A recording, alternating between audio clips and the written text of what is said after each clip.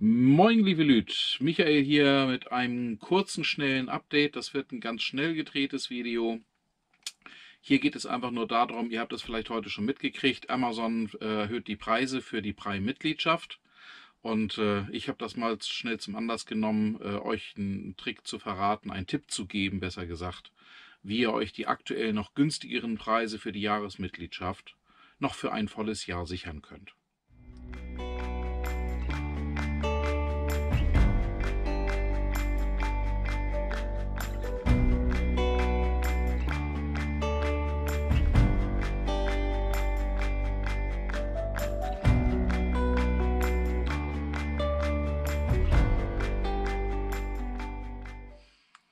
Ich nutze Prime recht gerne, wie ihr hier im Hintergrund seht, auf meinem kleinen äh, Mobilfernseher. Ich habe hier oben dann meine kleine Internetverbindung, das Video, wie ich das Ganze mache mit dem Streaming hier an Bord und dem TV hier an Bord. Das kann ich euch hier nochmal verlinken.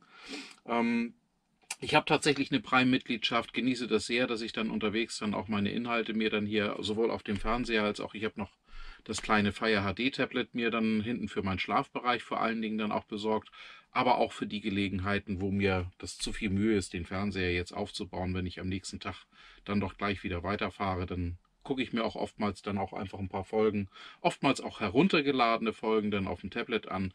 Also für diesen Zweck ist die Prime-Mitgliedschaft einfach irre praktisch, dass ich das dann auch als Offline-Inhalte mir auf dem Tablet dann runterladen kann.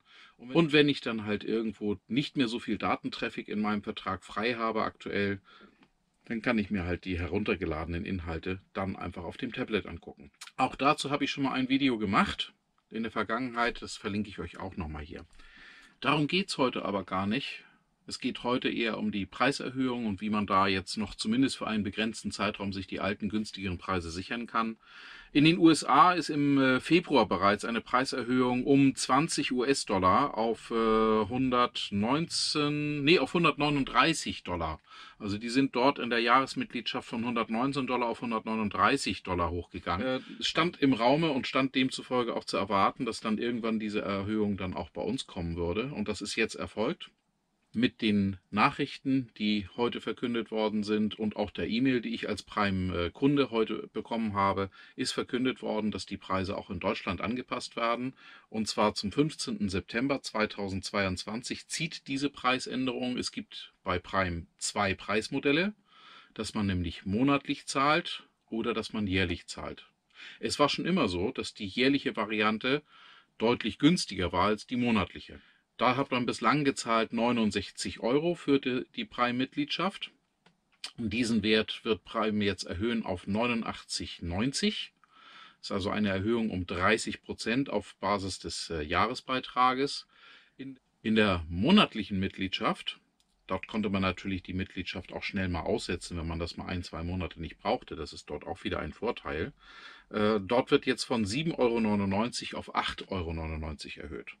Wenn man das auf Jahresbasis umrechnet, ne, das sind also knapp äh, 8 Euro bislang gewesen, das sind dann also 96 Euro im Vergleich zu 69 Euro im äh, Schnitt gewesen, im alten Vergleich. Da konnte man schon immer sehen, auf Jahresbasis spart man sich eben auch äh, quasi eigentlich ein paar Monate.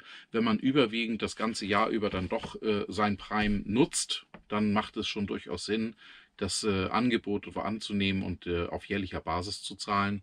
Jetzt ist es entsprechend erhöht worden, eben von äh, 7,99 Euro auf 8,99 Euro. Also auch dort ist ein Euro mit dazugekommen. Man kann also sagen, da hat sich jetzt dann äh, der Beitrag äh, auf, äh, um 12 Euro auf Jahresbasis erhöht. Die Distanz zwischen beiden Modellen ist dadurch ein kleines bisschen verringert. Aber es ist immer noch so, dass die Jahresbasis, der Jahresvertrag auch zum neuen Preis einen gewissen Vorteil bringt, dass man also auch durchaus sagen kann, naja, dafür muss ich das dann nicht äh, dran denken, das an ein, zwei, drei Monate auch mal auszusetzen, um insgesamt übers Jahr gesehen dann günstiger zu fahren. Und ich habe grundsätzlich ständig mein Prime zur Verfügung. Ich selber nutze es recht gerne.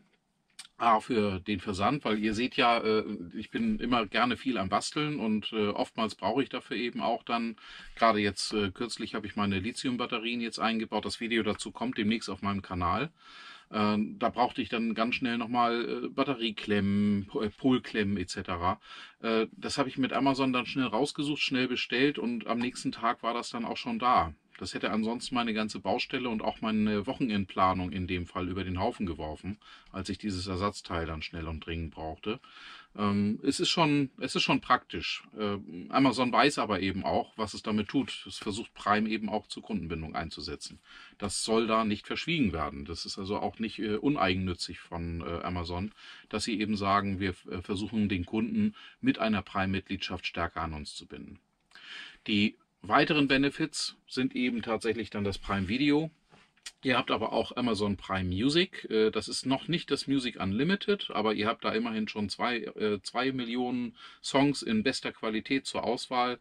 Also wenn ich es mal ausprobiert habe, dann über äh, die Alexa-Dienste dann mal ein bisschen Musik spielen zu lassen, hatte ich eine riesengroße Auswahl, auch der aktuellen Top-Titel oder meiner Lieblingssänger. Da war immer was zur Auswahl vorhanden. Mit zwei Millionen Songs kommt man da schon eine ganze Ecke weit. Einer der wichtigsten Gründe wird aber für die meisten von euch sein, einfach auch den Streamingdienst von Prime Video nutzen zu können und die dortigen Angebote. Also die haben in letzter Zeit auch immer bessere Serien und immer bessere äh, Eigenproduktionen und Filme im Angebot. Äh, aktuell sind einige Inhalte auf äh, Prime Video hochinteressant. Äh, LOL mit äh, Michael Bulli Herbig äh, sei da erwähnt. Das sind durchaus Highlights oder The Boys kennen auch viele die Serie die dort jetzt läuft. Jetzt soll Herr der Ringe kommen demnächst äh, als, als Serie. Äh, sicherlich auch für viele von euch sehr interessant und auch sonst. Also ich habe hier eine so große Vielfalt, dass ich also äh, noch nie Langeweile gehabt habe. Eher umgedreht, das, was auf meiner Watchlist draufsteht, das schaffe ich überhaupt nicht tatsächlich zu gucken. Komme nun dazu, denn das ganze Video soll ja jetzt heute ganz schnell sein, äh, schnell mal abgedreht und schnell für euch zur Verfügung gestellt. Äh, bis zum 15.09. sind noch ein paar Tage, wo ihr noch reagieren könnt. Es ist so, dass alle Verträge, die jetzt äh, zum aktuellen Zeitpunkt abgeschlossen werden, noch nach der alten Preisliste behandelt werden. Das heißt, wenn ihr jetzt also monatlich äh, ein äh, Abo abschließt, dann würdet ihr jetzt noch für 7,99 Euro einen Monat bekommen. Wenn ihr das kostenlose Probeabo abschließt, äh, das für einen Monat gilt, das verlinke ich euch auch mal unter dem Video, dann bekommt ihr einen Monat umsonst. Aus heutiger Sicht seid ihr damit bis äh, Ende August wenn ihr jetzt sofort das machen würdet, die Probemitgliedschaft, seid ihr äh, erstmal bis Ende August kostenlos im Prime. Im Anschluss könnt ihr euch dann entsprechend auf ein äh, ja, kostenpflichtiges Abo dann äh, committen. Und wenn ihr das dann nämlich noch bis zum 15.09. macht, dann habt ihr euch noch den alten Preis für ein volles Jahr gesichert. Wenn ihr also zum Beispiel am 13.09. noch ein Jahresabo abschließt, bekommt ihr das noch für 69 Euro abgeschlossen. Und erst zum 13. September 2023, wenn also die nächste Jahresgebühr dann fällig wird, erst dann werden die 89,90 Euro äh, von euch dann abgezogen. Das ist also eine Möglichkeit, wie ihr jetzt noch schnell die alten Preise euch zumindest für ein Jahr sichern könnt. Wer bereits ein Abo abgeschlossen hat, da gibt es jetzt zwei Möglichkeiten.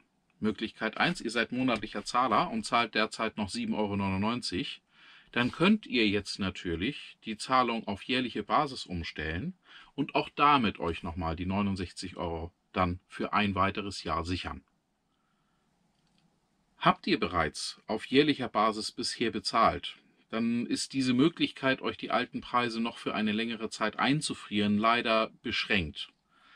Dann ist es nämlich so, dass sich die Umstellung daran orientiert, wann ihr euren nächsten Jahrestag der Zahlung habt. Das ist in meinem Fall Mitte März. Ich habe also ursprünglich mal im Mitte März mein äh, Prime-Abonnement abgeschlossen. Und damit habe ich jetzt die alten Preise noch bis äh, Mitte März 2023. Bis dahin gilt meine letzte Zahlung, die auch schon lange erfolgt ist, nämlich im März diesen Jahres von 69 Euro. Und im März nächsten Jahres werde ich dann den erhöhten Preis dann auch für Prime Video zahlen müssen. Da kann man leider nichts anpassen. Da kann ich euch leider keinen Trick verraten. Wenn irgendjemand von euch da doch eine Idee hat, wie das auch für Jahreszahler noch gehen kann, bitte gerne in die Kommentare reingeben. Da bin ich gespannt auf eure Kommentare, was da eventuell sonst noch so alles geht. So, das war jetzt mal schnell abgedreht, denn mir war wichtig, dass ihr diese Info schnell bekommt, dass ihr dann auch entsprechend agieren könnt. Immerhin gibt es ja eben auch noch diesen kostenlosen Prime-Mitgliedschaftsmonat, den ihr jetzt aktuell noch nutzen könnt, den ihr mitnehmen könnt, um überhaupt erstmal für euch zu entscheiden, Macht das Sinn? Ist das Angebot bei Prime Video äh, so interessant, dass, du, dass ihr sagt, ja, ich möchte mir diesen alten Preis noch für ein Jahr einfrieren? Oder wenn ihr das eben nicht wollt, dann könnt ihr die kostenlose Probemitgliedschaft dann auch einfach dann zum Ende hin auslaufen lassen. Kümmert euch dann aber rechtzeitig darum, dass, ihr, dass die sich dann nicht automatisch verlängert. Das könnt ihr ganz einfach in eurem Amazon-Account machen, das ist gar kein Problem. Wenn euch dieses Video gefallen hat, dann lasst mir gerne ein Like da. Lasst mir auch gerne ein Abo da hier auf meinem Kanal Travel With Me. Geht es überwiegend um Wohnmobilreisen oder Reisen in die große weite Welt hinein. Aber überwiegend ist das Wohnmobil hier mein Thema. Ich bastel auch gerne an meinem Wohnmobil und gebe dazu Tipps und Tricks ab. Es ist hier ein Pössl Tuvin Plus.